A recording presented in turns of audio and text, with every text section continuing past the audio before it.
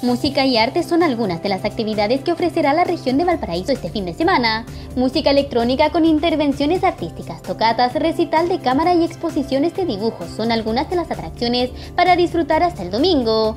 Johnny Olas, banda de ritmos jamaiquinos, llega hoy a Valparaíso junto a Pato Carlos y el cuarteto nogalino La Rud Hasha.